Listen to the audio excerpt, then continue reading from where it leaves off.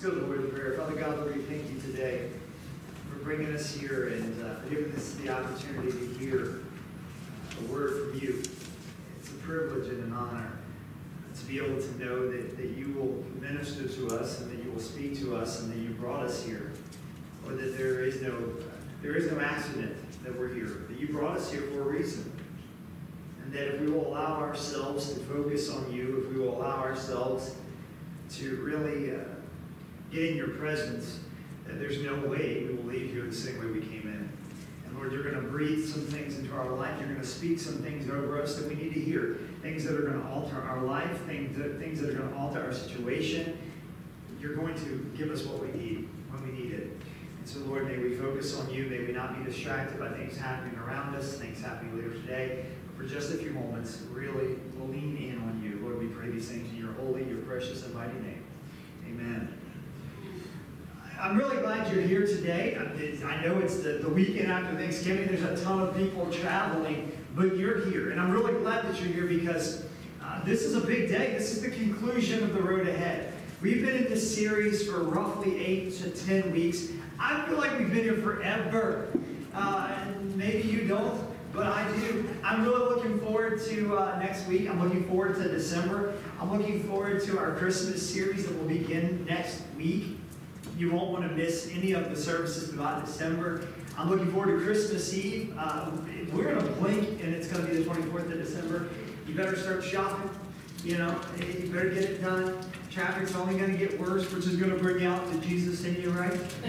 Uh, the lines are only going to get worse, and uh, it's going to get tougher and tougher. And so we're going to talk about a lot of these things over the next couple of weeks because God, God speaks a lot of things about the holidays. He talks about how we are survive the most wonderful time of year and, uh, and how we're going to deal with the emotions that come with all that. But today, we are concluding this series, and we're going to be concluding the book of Ruth. Many of you know we've been in the book of Esther, we've been in the book of Ruth, and what we have seen is we've seen a lot of dark uh, and troublesome times. We've seen a lot of hurdles, we've seen a lot of obstacles, we've seen a lot of ups, and we've seen a lot of downs. But through it all, God has been, uh, He's been up to something through all these circumstances. And there's been this parallel, this, this idea and this truth that God says to you and me that even though that we have dark times and we have ups and downs and we have obstacles and we have hurdles, He said work constantly.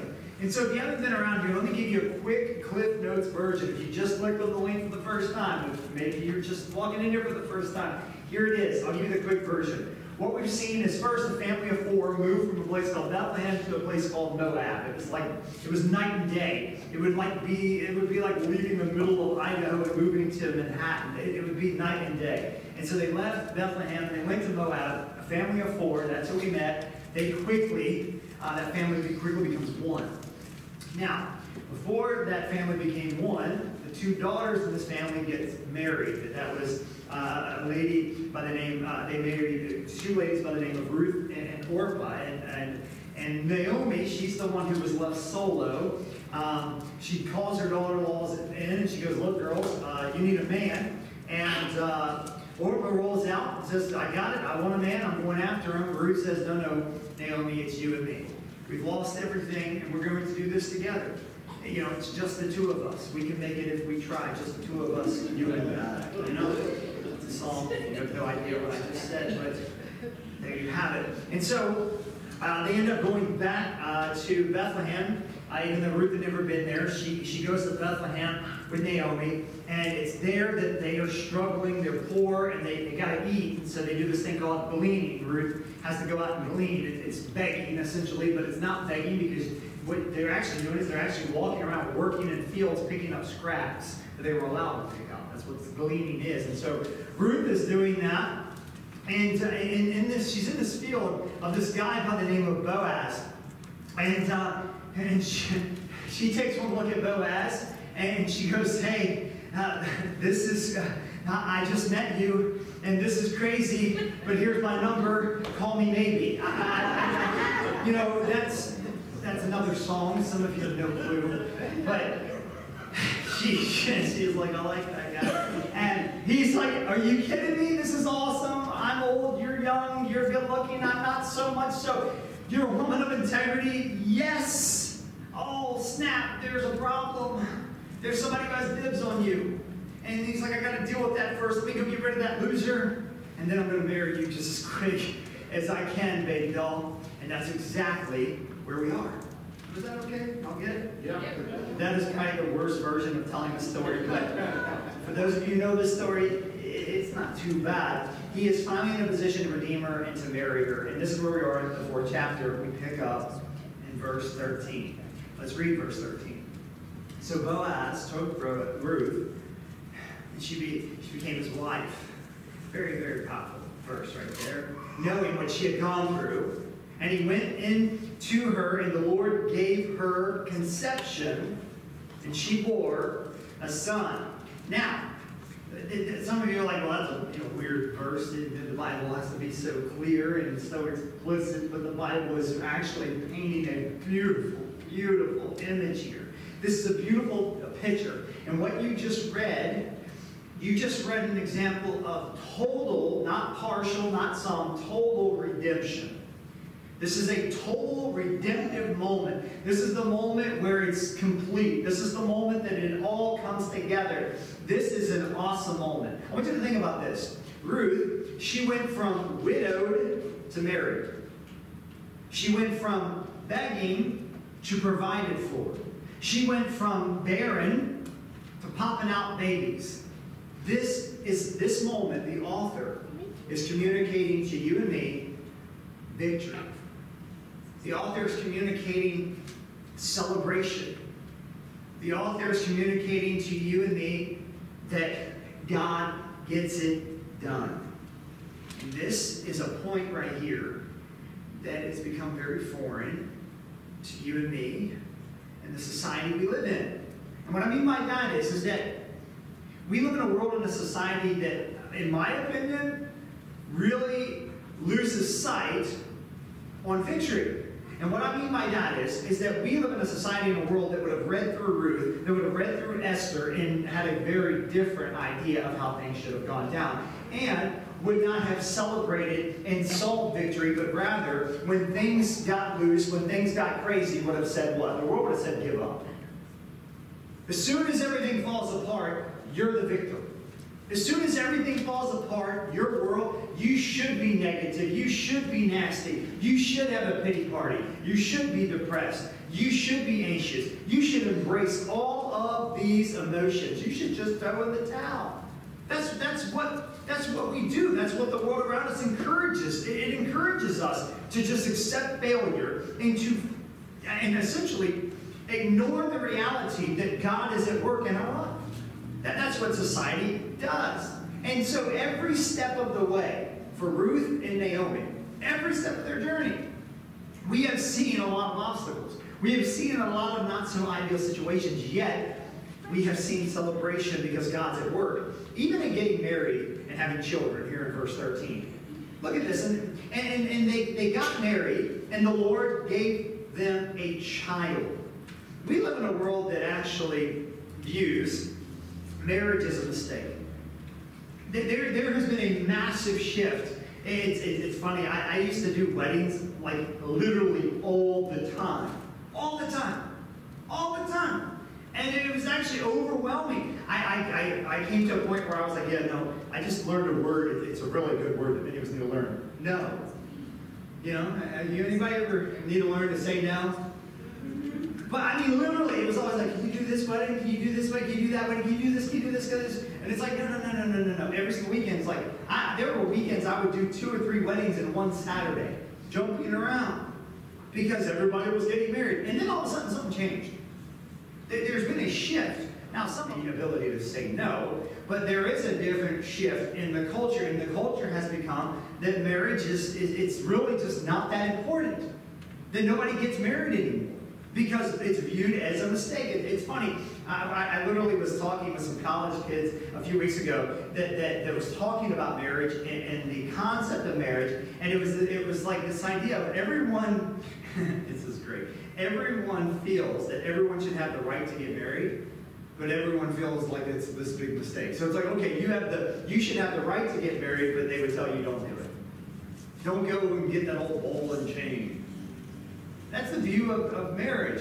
You know, you know what our problem is? Our problem with marriages is that, that marriage, the viewpoint, many of us look at marriage as burdensome and exhausting and handcuffing and a lot of work. But that's because it is. The work part, not the handcuff part. Mar- marriage is, is it's tough, but can I tell you something? Marriage done right is amazing. Because, because that's how God designed it. That's, he, he, he said it's not good for man to be alone. It's not good for a woman to be, alone. He's like, you need each other.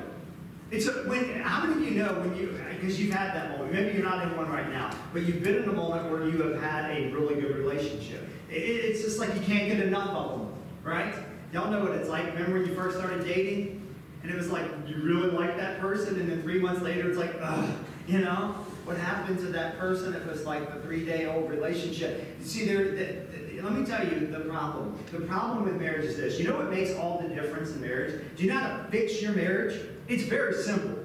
You don't need to go to a marriage conference. You don't need to spend hours and hours and hours upon counseling. You don't need to spend hours and hours and hours upon research or books. Do you know what you need to do to fix your marriage? It's one word. I'm going to tell you the word. It's on the screen behind me. God. If He is the center of your relationship, if He is the center of your relationship, don't, I'm not talking about you, I'm talking about you, then everything will be amazing. Because what's going to happen is if you have the attributes of God, if you are patient like God, if you are loving like God, if you are caring like God, if you are long suffering like God, if you put your needs on the back burner as God did, do you know? No one is going to have a problem loving you. Now, many of us know the problem with that is that sometimes the other person, they, they, they don't do that, do they? That's another sermon for another. We'll do that later. Maybe January. We'll have some fun.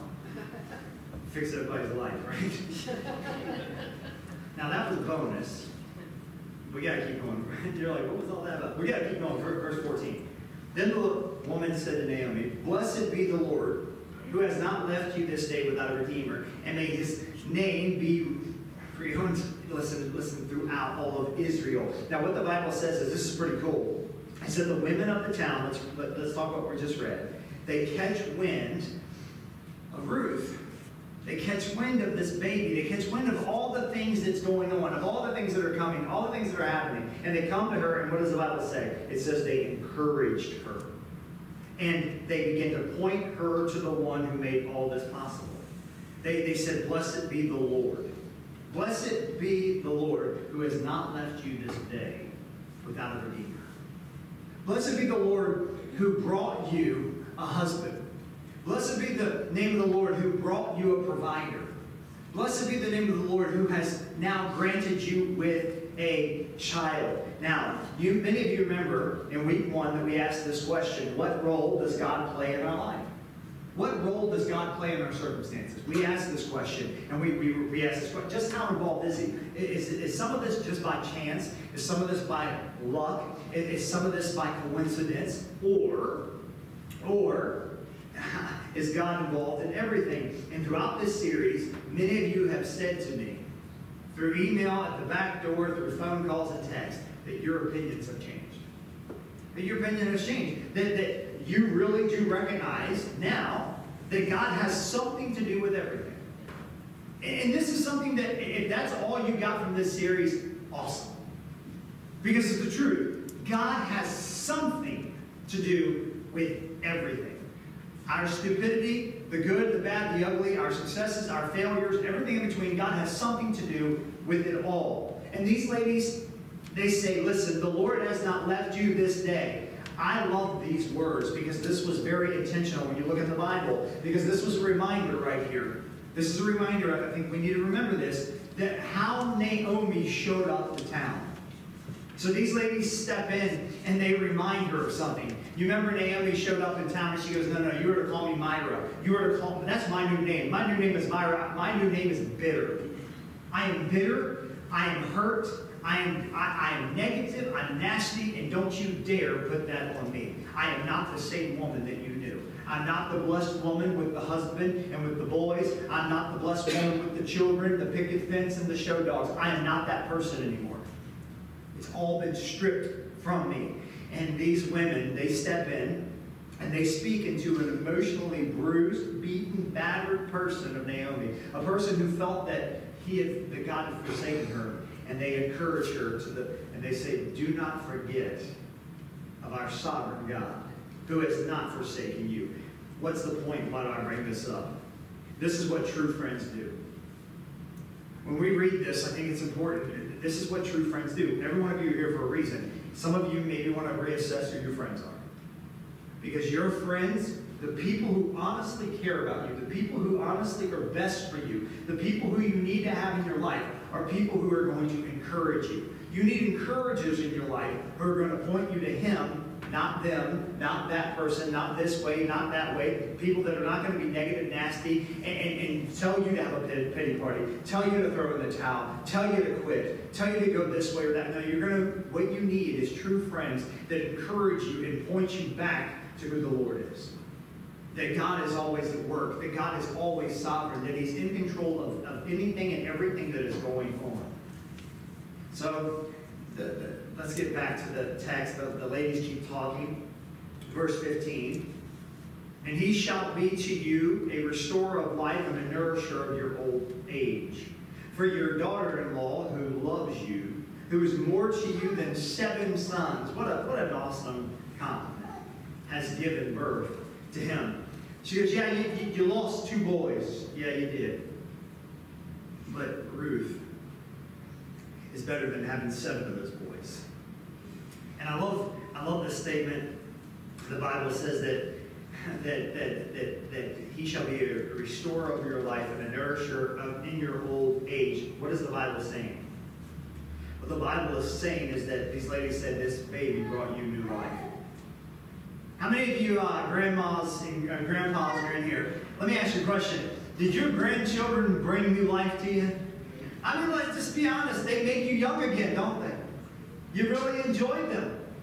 You do.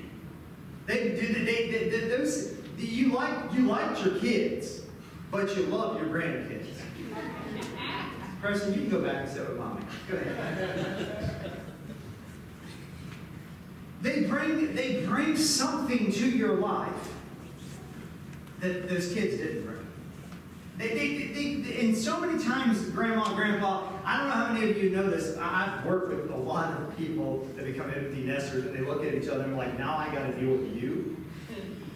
I want my kids back. And then come the grandbabies. They, they come the grandbabies and they bring this life back into it, and, and this is what they're saying. It says this baby is going to bring nourishment to your body, bring nourishment to your life. It's going to give you a fresh meat again. Look at verses 16 and 17. Then Naomi took the child, laid him on her lap, and became his nurse. And the women of the neighborhood gave him a name, saying, A son has been born to Naomi. They named him Obed. His father, he, he was the father of Jesse and the father of David. Now, this word nurse, I think some of you immediately thought, okay, Naomi's nursing him. Like we think of nursing, we think of like breastfeeding and all that. Not what, what's happening here. This word, you could, some of your Bibles probably already replaced it instead of nursing. It, it, actually, the word that might be used would, would be like supporter or caregiver. Uh, it might be provider. What Naomi was doing was she was committing the rest of her life, I love this, to the well-being of that child. How many of you would like a live-in nanny?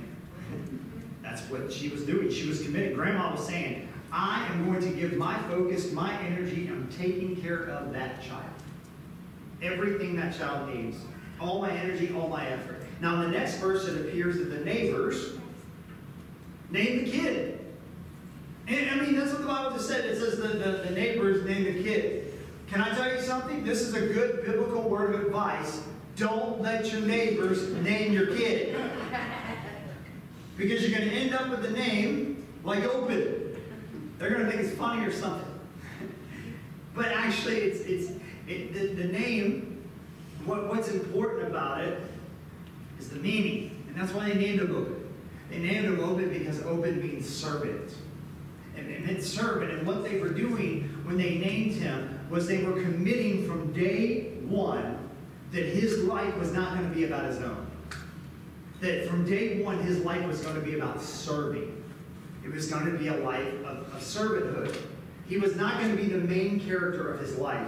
He was going to be the supporting character of a bigger story. And see, this is something that we need to understand as we read this, this chapter today. As we read, as we read this, this passage of the Bible. You see, here, here's the thing. As we read this passage of the Bible, as we read Ruth, I, I want us to push on this a little bit. We have been reading these stories of Ruth and Esther, and we've been exploring these situations, and we've been watching TV, as I like to call it. When we read the Bible, it's like watching a movie. It's like watching a television show. And here's the thing. You have a main character, you have main characters, and then you have supporting characters.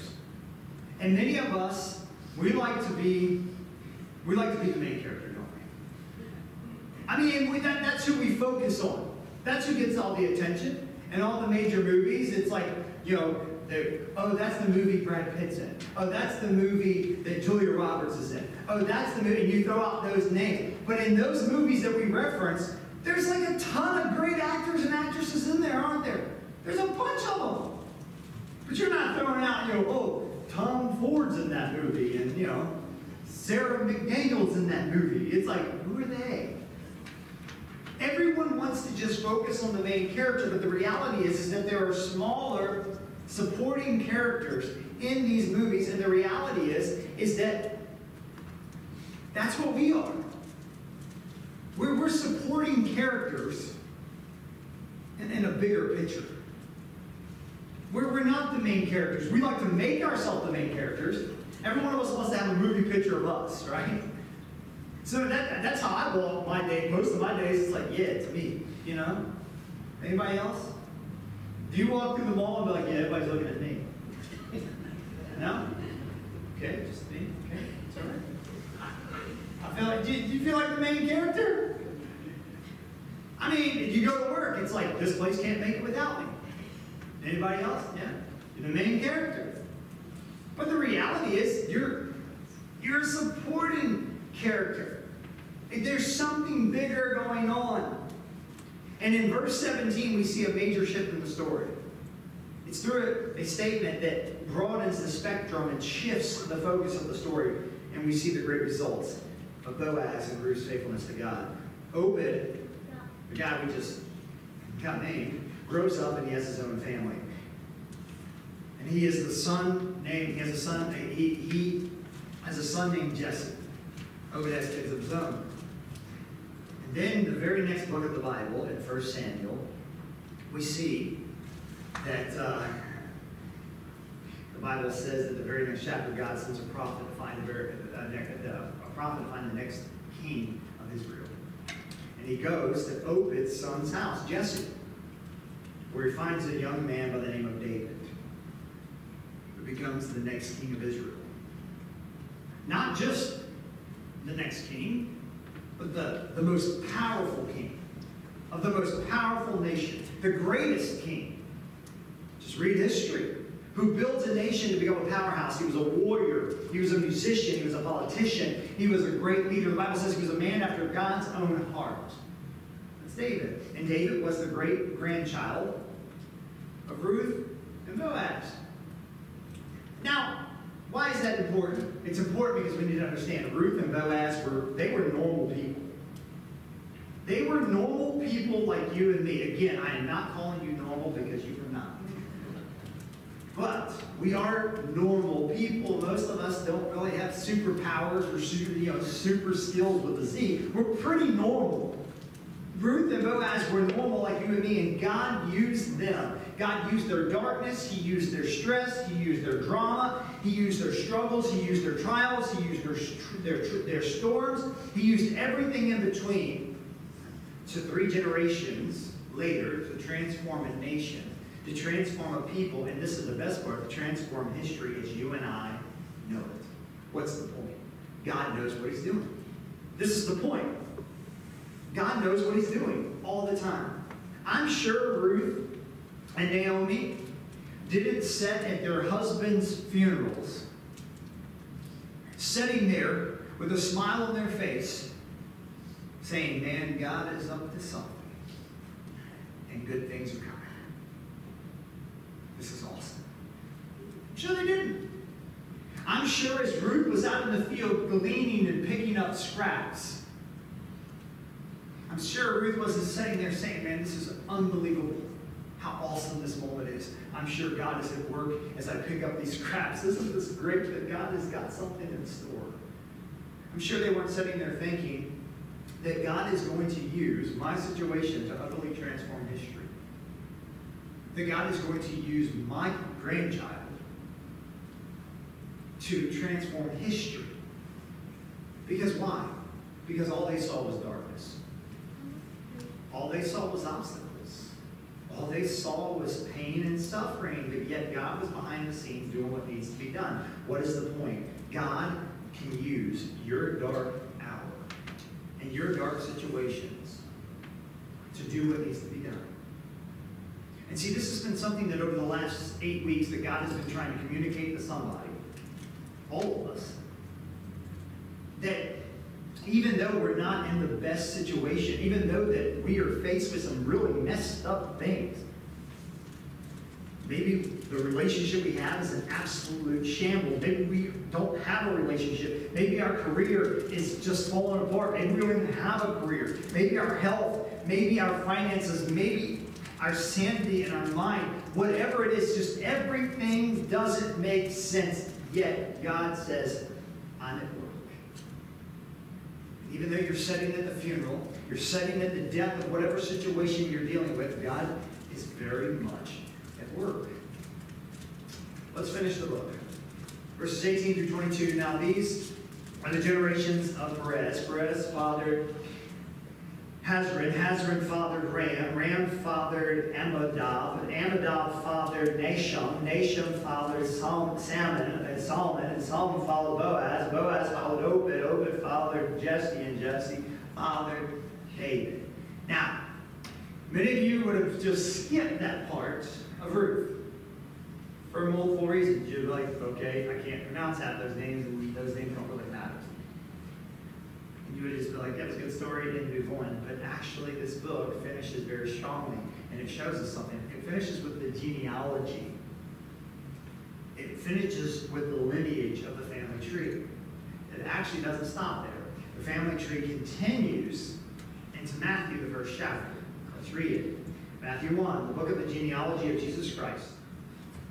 That right there should be your attention. Son of David, the son of Abraham.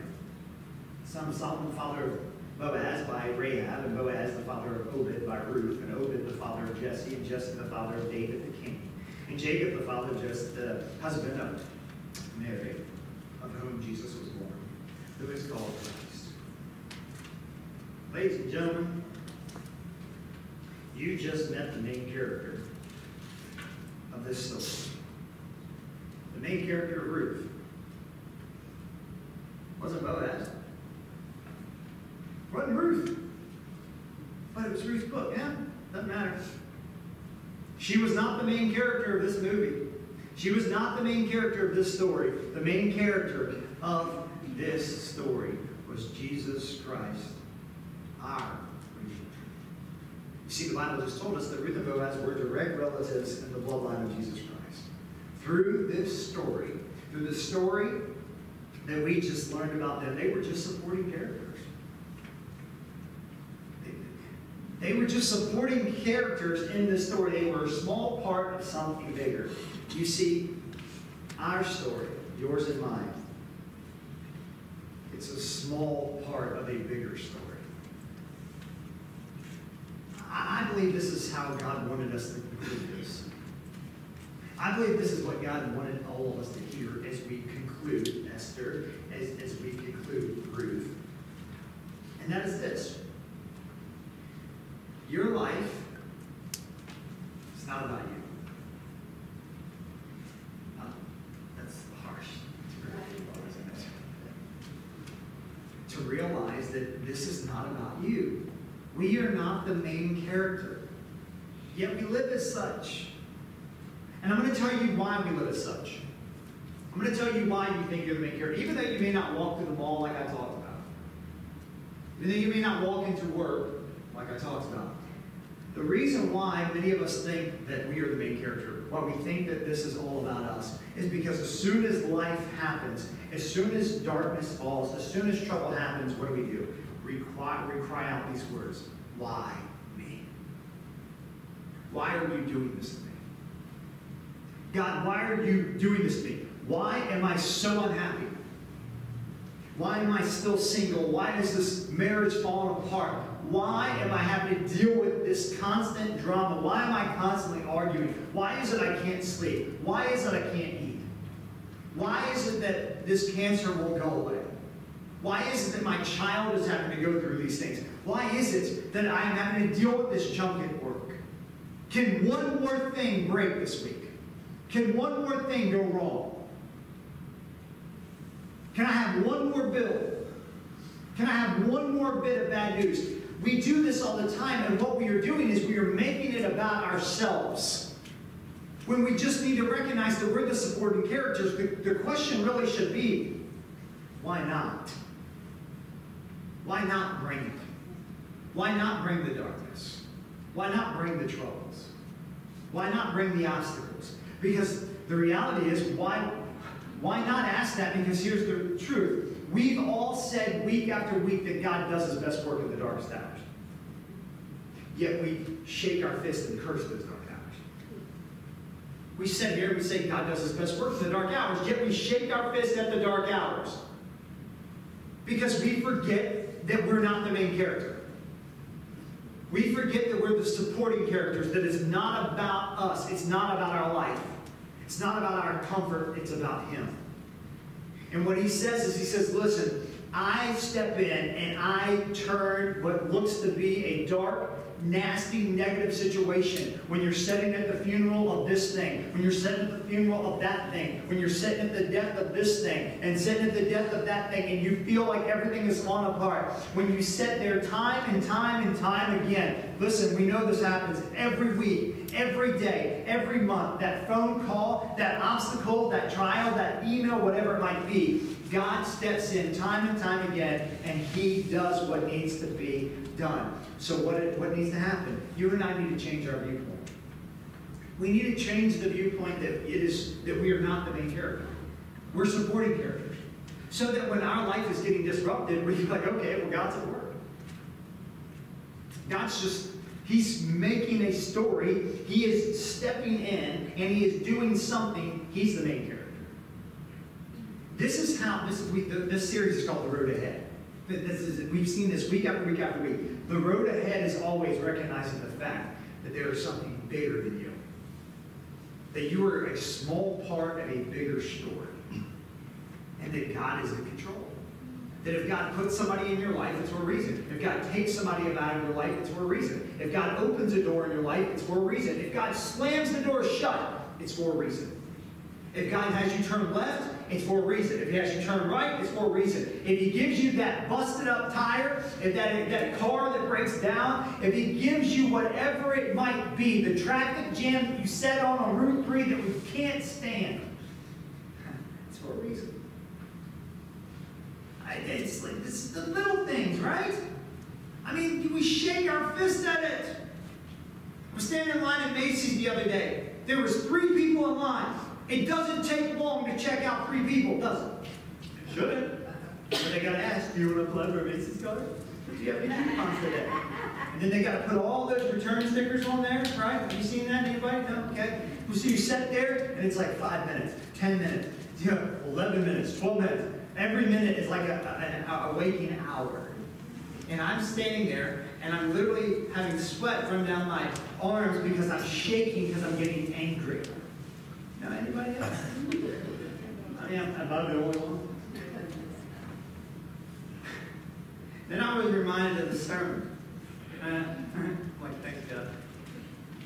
This isn't about you, Jason. You're standing here for a reason. No, I'm not. There's no one here that needs you right now.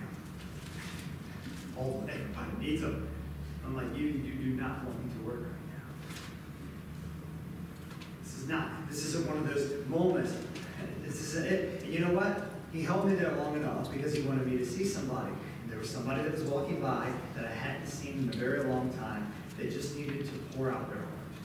And if I had been gone, if, I, if they had done their job and stopped offering everybody a cute, you a coupon a credit card, I would have been gone. But God said, I want you there. Stop. This isn't about you, Jason. It's about somebody else who's going to be walking down this aisle in a few minutes that I need you to talk to. There's reasons why you're sitting in the doctor's office. There's reasons why you're sitting on Route 3, why you're sitting in the drive-through line. We are a small part of a bigger story. And I, I, believe that if we can change the way we view things, the way we view what we go through, road ahead will be a lot easier.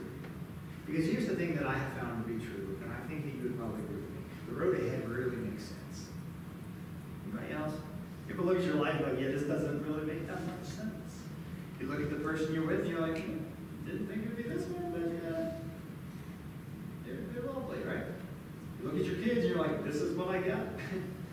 the career, the, the car, you're like, this is my job. This is what I do. The life I live. And so many times it doesn't make sense that the obstacles we deal with, it's like, seriously, yet again, God, I having to deal with this? They're rarely ideal.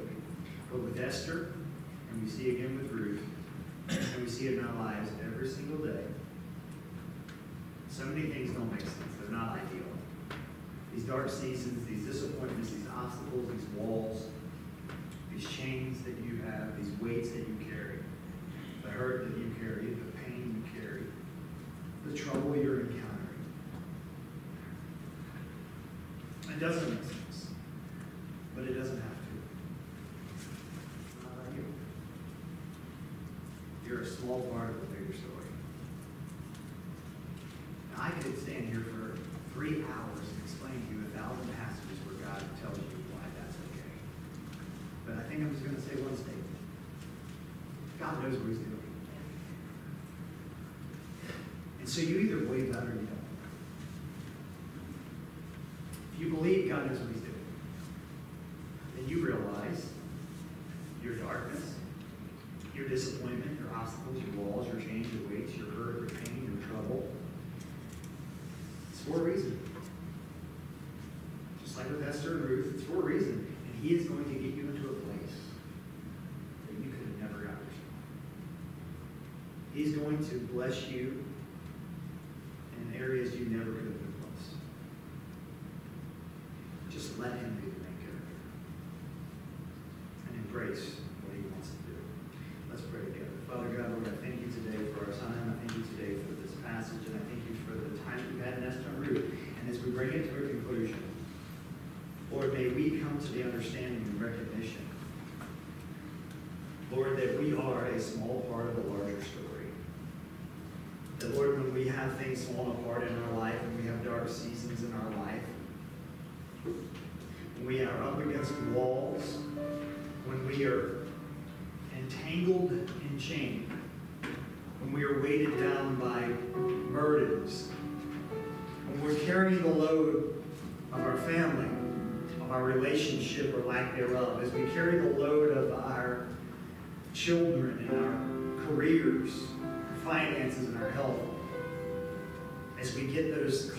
those text messages, those emails, we're surrounded by trauma and stress, Lord, all of it, all the darkness, it's just a curtain. It's a curtain at a, at a play. Lord, you're behind the curtain. You're behind the scenes, orchestrating and setting up things that need to be done. You're setting up the things that need to occur in our life. Lord, we are your children. We are the supporting cast of the bigger story. And what is wonderful is you always want what's best for us. Not, not all things seem best. These, these things that we go through, they don't seem good. But Lord, you have shown since the dawn of day, page after page